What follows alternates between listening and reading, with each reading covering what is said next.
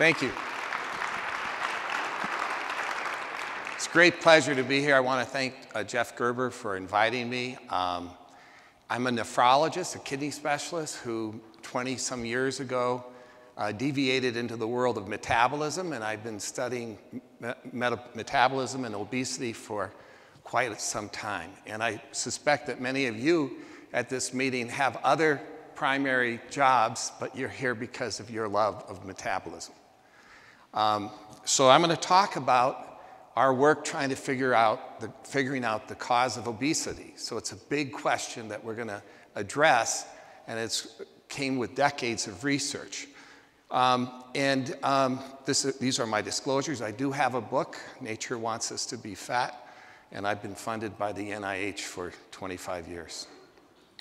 So, the basic premise to trying to figure out obesity from my perspective is not to begin with the patient who has obesity and diabetes, but rather to go into nature because nature can teach us a lot. And in nature, obesity is actually an advantage at times. At times, it's critical for survival. So, if we can understand how animals stimulate and, and develop obesity, uh, then we might be able to get some clues to what might be driving obesity for us. So, for animals in the wild, it's all about survival. They need to have enough food and water uh, you know, to provide the calories and nutrients that they need. And if there's no food or water, it's a real disaster. And some animals will actually store food in little caches back in their, their dens so that when they're in trouble, they can go back there. Or during the winter, they, the, the little chipmunk can wake up and eat some of the, the food that's next to it. And we know the story of Aesop's fables where the ant was you know, storing food all summer long and the grasshopper was hopping around and playing. And then in the fall, when it starts getting cold and the food disappeared, the grasshopper had to go to the ant and say, Hey, can I get some food from you? And the ant said, No, you didn't take care of yourself. So animals actually do know, you know, when there's, uh, like that during winter, there's not going to be so much food. And so a number of species will actually purposely gain fat as a way to store energy. The classic are the hibernating animals, like the, like the bear. And the bear will maintain it a regular weight throughout summer. It's, it, you know, if it eats too much one day, uh, it doesn't matter, it'll eat le less the next day. It kind of maintains a, a, a normal weight. But beginning about a month or probably about eight weeks before hibern before it hibernates, it will suddenly change its behavior and will get extremely hungry. It will start foraging for food. It will eat enormous amounts of food. It will gain eight to 10 pounds a day. It will become insulin resistant. It will get fatty liver, and it gets actually all of the features of metabolic syndrome. And in fact, that's also true for the hibernating ground, ground squirrel. Uh, all these animals, when they are preparing for hibernation, they actually develop the metabolic syndrome, something that we think of as pathophysiologic, as, as a disease process. But for these animals, it's actually the normal thing. It's actually like a, it shouldn't be called metabolic syndrome, it probably should be called fat storage syndrome. So the big question is not what the, the question of why they hibernate and how they hibernate usually what people talk about. But actually, a more interesting question is what triggers the weight gain? Why is it that these animals, which normally regulate their weight beautifully, suddenly lose this weight regulation and gain so much weight in fat? What's the process? What activates it? Let's be detectives. And it turns out that uh, for many species, it's fruit. And the animals in the fall, when the fruit ripens, the sugar content goes up in the fruit. And these, uh, like the bear, will eat so much of it that it, it actually seems to trigger the weight gain. And uh, it, it's not, I know what you're thinking, natural fruits, fruits are healthy, right? And they are for us because we're eating small amounts. These guys are eating like 10,000 berries in 24 hours. It's a very different level of sugar intake, okay? So these guys are eating a lot of fruit. And so let's talk about fruit and sugar. The main sugar in fruit is called fructose. And glucose is the other main simple sugar, and that's, of course, what's in our blood, and, and it's the main carbohydrate we use. In addition, there's table sugar, or sucrose, which is one glucose and one fructose bound together. And then we have high fructose corn syrup, which has a mixture of fructose and glucose put together. And fructose is the sweeter of the two sugars, and by combining the two, like in high fructose corn syrup, it makes the food taste particularly good. And they, in fact, uh, most uh, drinks, soft drinks and stuff, will have a higher fructose to glucose content because of the sweetness and the fact that people like that. So when, when we were, wanted to study this, what we did was we, we put fructose in the drinking water, and uh, we had two bottles so they could drink regular water or fructose water. And we let our laboratory mice decide which one they wanted to drink from. And they would dramatically, of course, prefer to drink from the fructose bottle. And the ones that got those two bottles, they, uh, the ones that would, would drink so much fructose that they became extremely fat. They became insulin resistant. They got fatty liver. They got all the features of metabolic syndrome. And the control mice, who just had two bottles of water and regular food, you can see what happened to them here in this picture. So, you know, so basically we could show that fructose could induce metabolic syndrome. Now, it was really interesting. The first two weeks that they're given fructose, the first three weeks, they will actually reduce the chow they eat to, to maintain balance. So initially, they try to maintain their energy balance, but when you keep giving them this, this fructose sugar, suddenly around the second week, they lose control of their appetite and they keep eating and they'll eat more chow and drink more sugar water. And so it, it accelerates. So that's sort of interesting that, that it disrupted this normal weight regulation. So the question is how does the fructose actually do this? And it turns out that it's an energy balance thing. It's, a, it's an energy problem. And it re- relates to the mitochondria, just as you heard earlier. The mitochondria are uh, the main little organelles in our cells that make energy. Now, normally, when we eat food or calories, that energy is used to make ATP. ATP is what the mitochondria make. The mitochondria churn out this ATP. It's the energy uh, that we use to do everything. And in the cells, the, the, when you eat a nutrient, it, they try to maintain the energy levels high.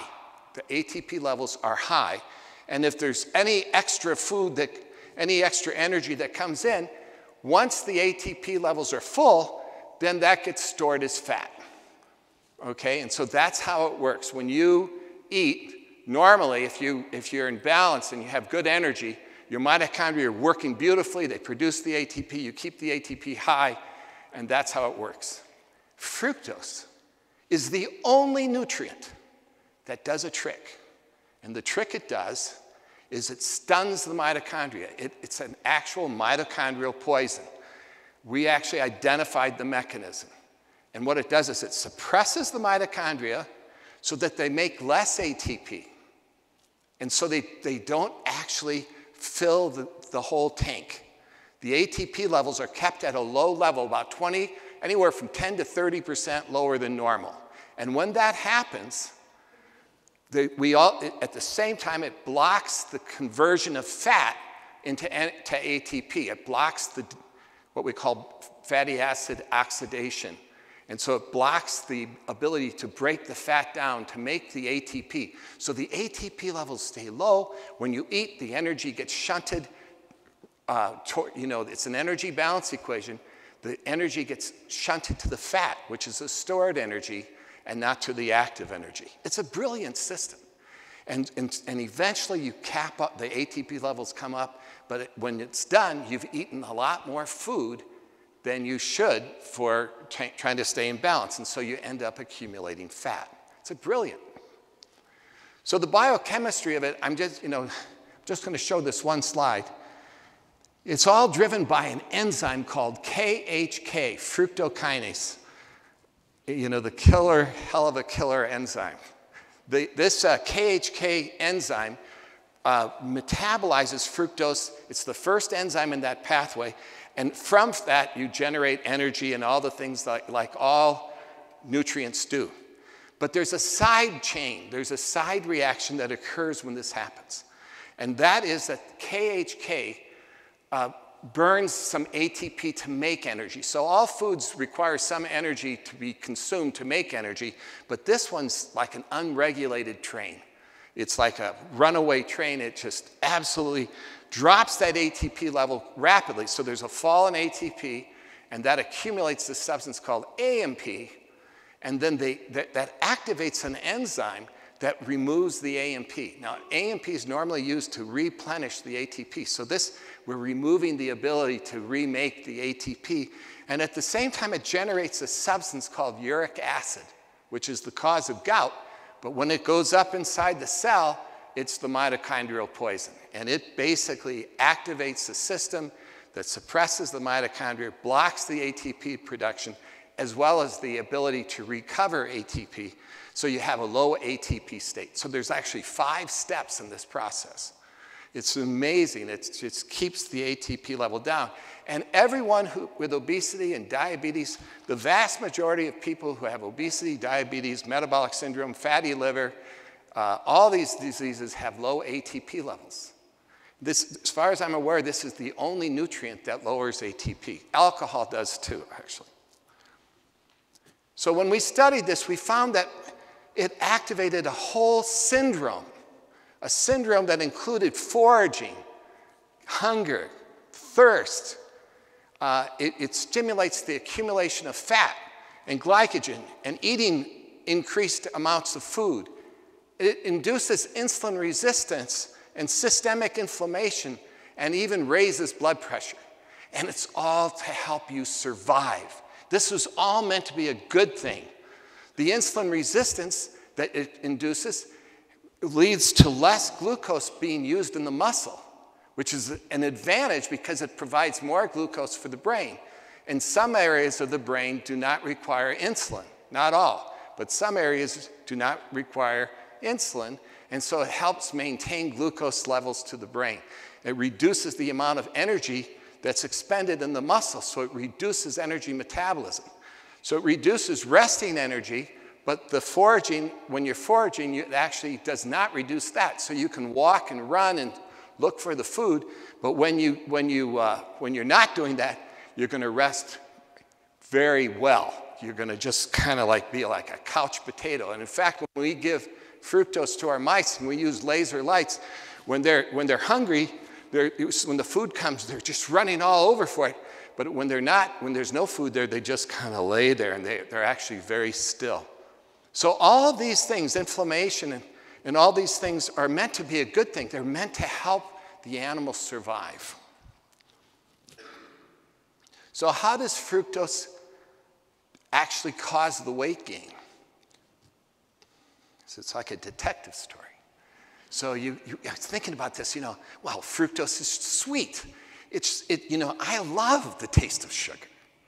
I'm going to eat fructose and sugar because it tastes great. So we took mice that lack taste. And if you give them Splenda, they don't care for Splenda.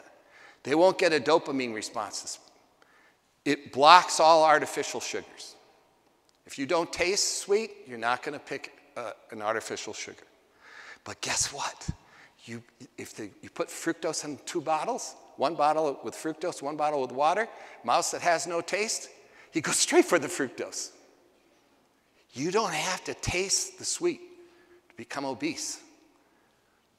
The animals will, will drink the fructose and they will get fat. So it's not taste, but taste helps them find the food. They'll, they'll, they'll, they'll find it better with their taste but you still get fat. So taste helps you find the food, but it gives you, and, but you, and, and, uh, and even in a, a, a tasteless mouse will still get a dopamine rush. So it turns out it's the metabolism of fructose, it's that dropping of ATP That's critical for why they like fructose.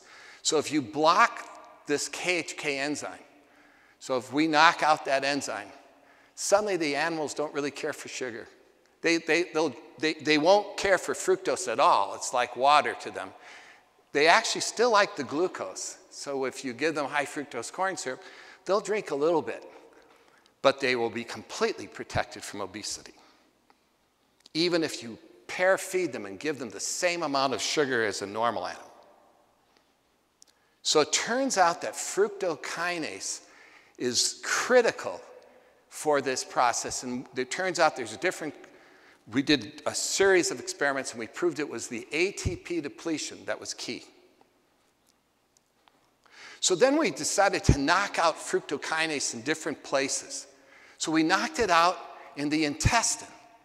And when you knock it out in the intestine, animals don't crave sugar at all. But they still get fat if you give them the sugar. So it actually protects them because when they don't crave sugar, they won't eat it. But if you, if you give them sugar, they will get fat. So the, the, they're paired together. The craving and what causes obesity are paired together, but you can separate them. You can create an animal that craves sugar that doesn't get fat, and that's um, this one. So if we knock out fructokinase in the liver, animals will continue to love sugar. They love fructose, they love sugar, but they are completely protected from obesity, diabetes, metabolic syndrome, fatty liver, hypertriglyceridemia. All those things don't happen. So there's something special, you know, about fructose. It really is driving the metabolic syndrome, uh, and we can show how it works. It is possible to love and eat a lot of sugar, but be completely protected if you knock out fructokinase in the liver. Okay, so then how does fructose actually stimulate food intake? Because remember, I told you that when we put fructose in the water, you know, the first two weeks they didn't really eat at increased amounts of chow, but after a while they just became so hungry they kept eating everything. And it turns out that it blocks a major satiety pathway. Uh, years ago, Friedman showed that there's a hormone called leptin, and leptin is a hormone that tells you when to stop eating. And so when you eat food, the leptin signals to the brain and says, hey, you're full. And normally animals are very leptin sensitive, and if you feed them too much food, they'll quit eating, or uh, the next day they'll eat less, or they'll exercise more. They maintain their weight. But people who are overweight, people who are obese, tend to become leptin resistant. And so, what, you know, it turned out that if you knock out leptin, animals become very fat. So for a while, everyone thought, ah, we can cure obesity by giving leptin to people. But the trouble is, uh, people who are overweight are resistant to leptin. They be, develop a resistance to leptin. And what we found was that fructose causes leptin resistance. The way you do that is you take an animal and you inject it with leptin, and if you do, it will reduce its food intake. And it's like small amounts, it's like 10%. And you can see here on the left uh, that, you know, if, if you put an animal on a high fat diet, they'll stay leptin sensitive. And so you can actually block food intake by giving them leptin. But if you give them fructose, they become leptin resistant. And then if you stop giving them fructose, they'll stay leptin resistant for a couple weeks, and then their leptin sensitivity will occur again. In, in, our hands, if we give lard to an animal that's leptin sensitive, we can't make the animal fat with a high fat diet alone. But once we make them leptin resistant, they get dramatically fat with fat.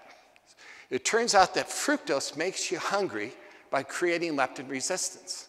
And that's why when you add fat, you become really fat because uh, now you're hungry, so you're going to eat those french fries and all the fatty foods, and you're going to gain a lot of weight because you can't control your appetite.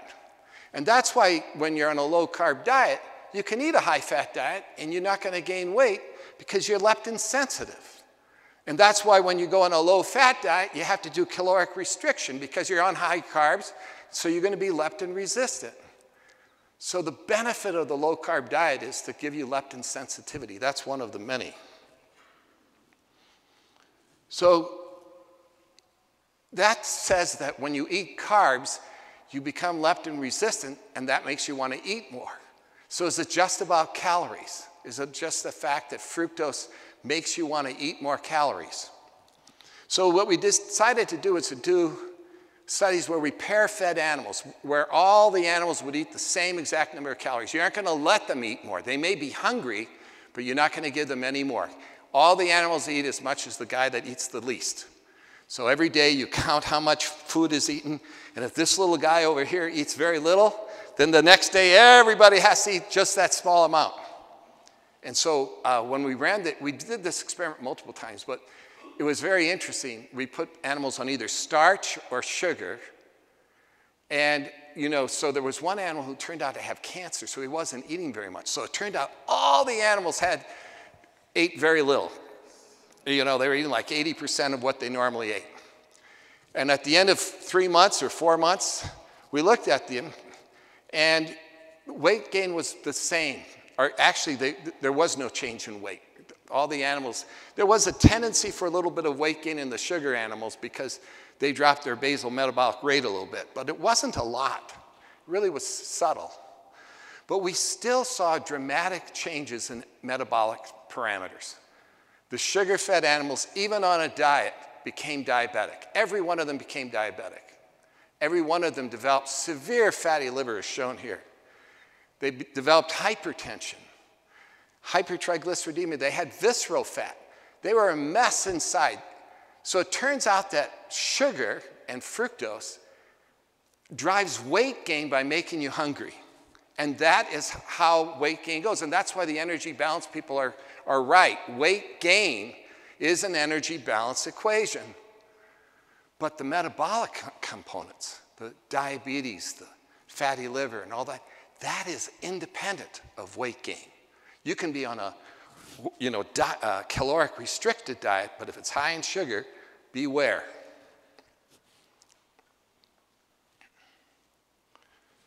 So, as we started studying this, you know, I was focused on fructose. So I thought to myself, so fructose is the bad guy. So when you drink, when you're eating sugar, you're eating fructose and glucose, uh, you know, because that's what makes up sucrose and high fructose corn syrup. And so the question was, what causes, is glucose uh, safe? And of course, this was going against, you know, what, what everyone was saying, you know, glucose stimulates insulin, insulin causes obesity. But we were finding fructose to be the culprit. So what about glucose? Could it be causing obesity. So we put animals on glucose in their drinking water, and they do get fat. They got fat, they got insulin resistant, they, they, uh, they got hypertriglyceridemia, they, you know, all the features of metabolic syndrome. They became leptin resistant. So it seemed like both sugars were bad. And so now I was kind of puzzled because we had two mechanisms. We had this glucose pathway that stimulates insulin and could cause fat that way. And we had the fructose theory where fructose is dropping energy and that's causing fat. And so the question is, you know, both are important, and I think both are important. But I'm going to show you that the fructose one is particularly important because we had a surprise. We discovered that fructose can be made by glucose to the, at a level that can cause obesity. And so that when you eat high glycemic carbs, you can actually start making fructose in your body. And the way it works is this way there's, a, there's only one way this can happen, there's only one known pathway, and it's called the polyol pathway. And when you eat glucose, it can be converted to sorbitol and then to fructose. By the way, sorbitol is that artificial sugar they put in syrups, it makes fructose and it gets into your body. So, so much for that. Okay, so anyway, so glucose gets converted to fructose. And interestingly, what drives that pathway is glucose loading. So if you put an, if an animal has diabetes with high blood glucose, or a human with high blood glucose, they're making fructose all the time. It's been shown. You know, they don't have to be on fructose. You can measure fructose in their blood and in their urine, especially if the diabetes is out of control. If you go on a high glycemic carbs, you're going to make fructose too. That's now been proven in studies that are, were done in Switzerland. And high carb diets will also generate uh, fructose. So basically, when you go on a low carb diet, you're blocking this ability of glucose to, to generate fructose because you're removing substrate. So when we put animals on glucose, we found that they actually did make fructose. So these animals were not being exposed to fructose, but we found that there was base, there's a baseline fructose level in animals, and it goes up when you eat a high glycemic diet.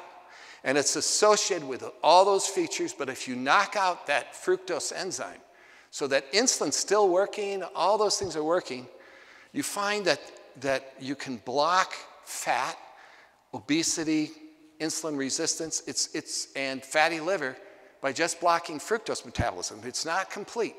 There's definitely an insulin pathway there. So if you look at the fat, you know, about half of the fat comes from insulin and half the glucose insulin pathway and about half from the glucose fructose conversion. So both are important. But the, it's really more dominant, the fructose pathway is more dominant. So this is a study where we gave soft drinks to mice, and some of them lacked the ability to metabolize fructose. They were KHK knockout. So these mice cannot metabolize fructose, but they have an intact glucose insulin pathway. And again, what we've seen is that we can block weight gain triglycerides, insulin resistance, diabetes, fatty liver. It's dominant. So the dominant mechanism when you're when people eat carbs, the dominant pathway for causing obesity appears to be through the fructose pathway. And the insulin pathway is important as well. So this means that continuous glucose monitoring is, is, is great not just because it warns you when insulin is being stimulated, because a high glucose also uh, triggers fructose production. So now we have it more, more complicated. Fructose can come from the diet, but fructose can also be made in the body. And you make it when you eat rice and potatoes and bread. You're making fructose in your body. And then that activates this ATP depletion. So when we were studying this, we go, oh my gosh, there's another way you can make fructose. And that is you can stimulate the enzyme that converts glucose to fructose. And that enzyme can be stimulated by salt. Anything that increases what we call osmolality in the blood can activate that pathway. And I became interested because animals use salt licks to try to help them gain weight before the winter, for example. And, uh, the, you know, it's been shown that the salt licks, that it's actually sodium chloride that they like, and that they do this, they actually can gain weight. And there's even some places where people uh, give animals a little bit of salt to help increase their, their weight. So what we did is we put animals on salt, where they, they're, they're on normal diet, low sugar diet. These guys are eating less than 3% fructose. It's really, but if you put them on salt, for, and they're, but, but it's about a 50% carb diet. You put them on salt, nothing happens for a couple months. And then suddenly, around the third or fourth month, they start gaining weight. They become obese, diabetic, fatty liver, insulin resistant. It's like scary. And when you look in their livers, you find that their fructose levels are high. So, animals on a high salt diet will develop obesity, diabetes, hypertension, and it relates to you know, this production of fructose. So if you give a high salt diet to animals that, in which they, uh, you know, you've knocked out fructokinase, now they still eat all the salt, but they're completely protected. And what's more interesting is salt doesn't raise blood pressure or cause heart cardiac hypertrophy when you block fructose metabolism. So this has actually led to a whole series of studies showing that salt and sugar play a major role in high blood pressure to, by working together. So, the idea that salt might actually play a role in obesity was very interesting because, you know, it, you know, was kind of a really? But when we looked in the literature, we found that there was actually many papers that showed that obese people tend to have high serum sodiums, they tend to be on a high salt diet, they tend to not drink a lot of water, they tend to be dehydrated. And in like this study, you know, they're, they're 12 fold more likely to have, to have dehydration than a, a person who's got a normal BMI. And when you look at processed foods, it isn't just the protein, carbohydrate, and fat content, it's the salt content. Processed foods have so much more salt and sugar and sweets, and the salt is playing a role. And, and now we know why French fries are particularly bad because it's not just the carbs and the fat, it's the salt that helps convert the enzyme, activate the enzyme, so that you can convert that potato, the potato, the starch into to fructose, and then you have the high fat so that when you're leptin resistance, you really can add the weight on. And then we started looking at this and we found that high salt diet can predict diabetes and, and, and so forth, and obesity and fatty liver and hypertension and chronic kidney disease. And you probably saw that the NIH just had a paper two weeks, three weeks ago or so showing that a high serum sodium increases the risk in the normal range, in the normal range, increases the risk for chronic diseases, dementia, hypertension, obesity, and diabetes, et cetera. So why? Why would dehydration cause obesity? It, so it turns out that animals, we go back to nature. And in the desert, you know, survival requires having enough water. But animals can use fat to make water. So fat, when it breaks down, can produce water. So fat is used by many animals, not just as an energy source, but as a water source. And when animals hibernate, they use the fat to make water. And when the dehydration is mild, you stimulate fat production. But if dehydration is severe, then you break down the fat.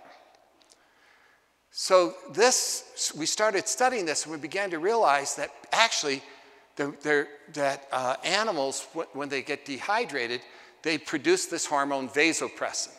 And vasopressin helps concentrate the water in the body by reducing wa water loss through, through the uh, urinary tract, so it causes urinary concentration, likely reduces water vapor loss through the lungs, uh, and it lowers body temperature, which helps you reduce water losses uh, for what we call insensible water losses.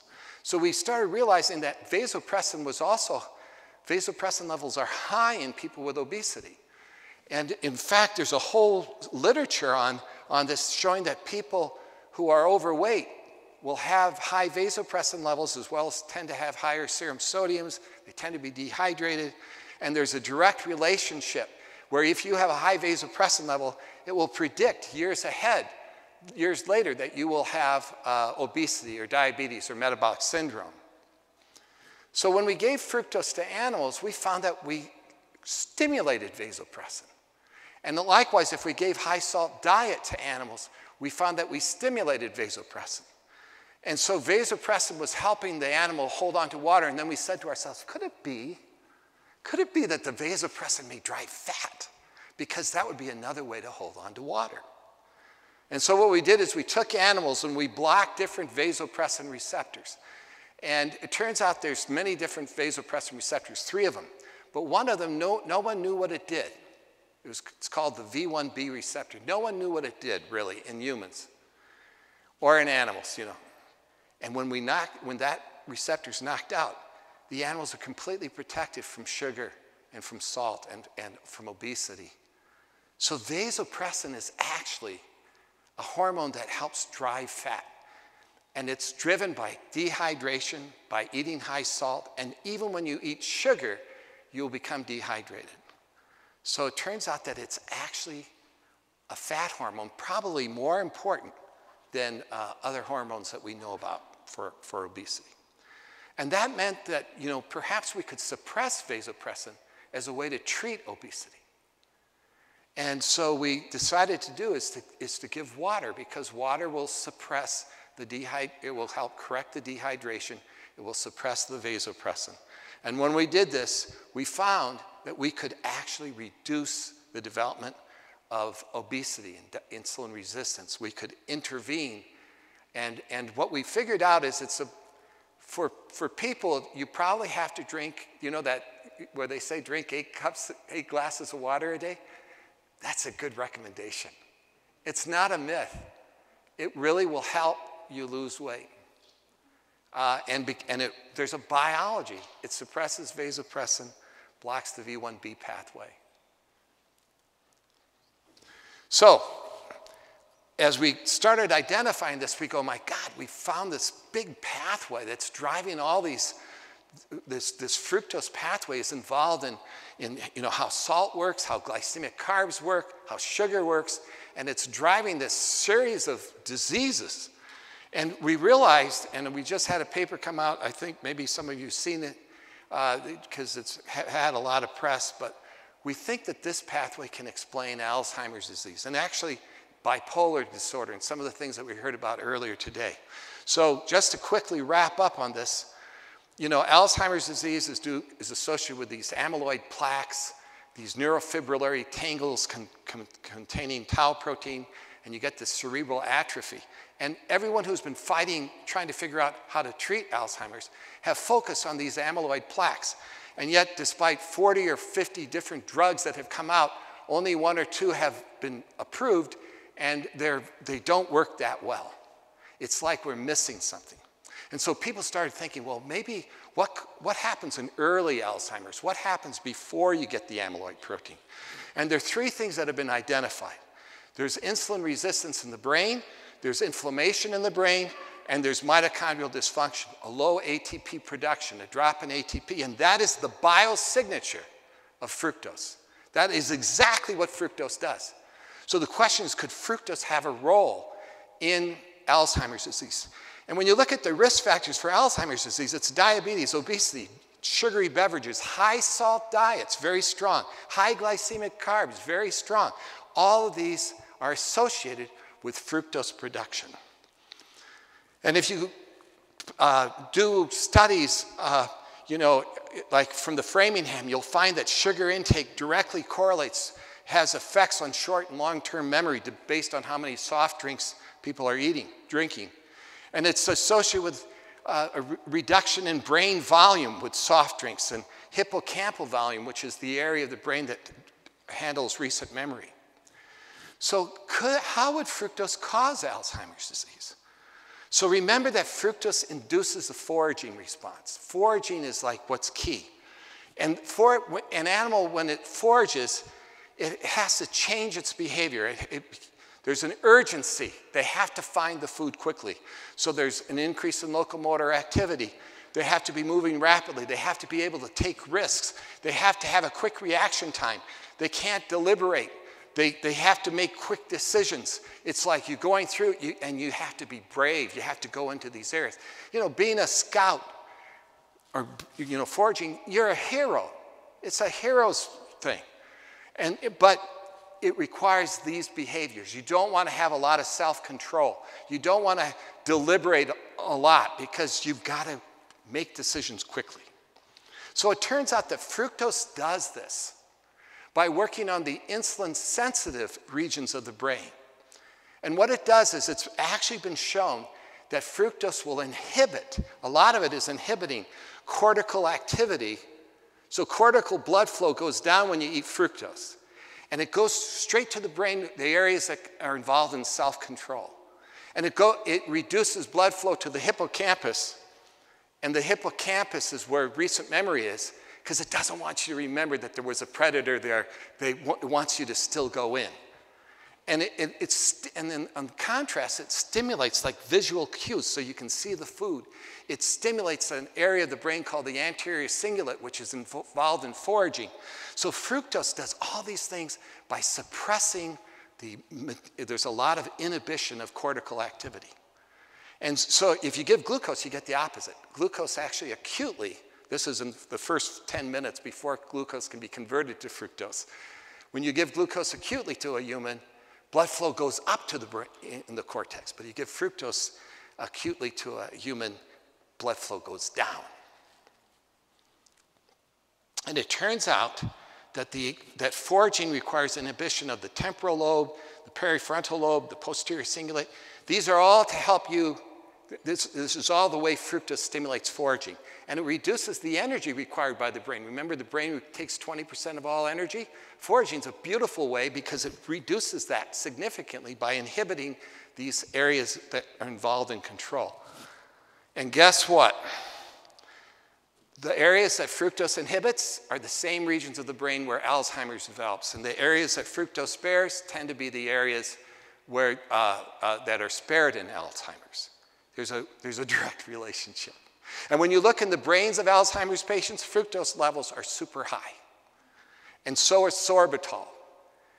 The, bot, the brain is making fructose. And if you give a high glycemic food, or if you raise blood glucose in a human, you can measure the immediate rise of fructose in the brain. This was done by Sherwin at Yale. So that's human, human data. So we're making fructose, and fructose is dropping the ATP levels in our brain. And you can see that ATP levels fall in the brains of Alzheimer's patients.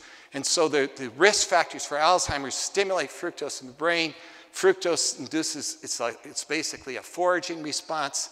It's driving insulin resistance in the brain, which I didn't show you, mitochondrial dysfunction, inflammation. That's all now been shown with fructose, uh, with models of Alzheimer's and also in Alzheimer's. And then you get the amyloid plaque. And if you give fructose long enough to a rat, they get amyloid and tau protein in their brain. So, in summary, there's been a huge in, uh, increase in sugar. Uh, this has led to excessive fructose intake.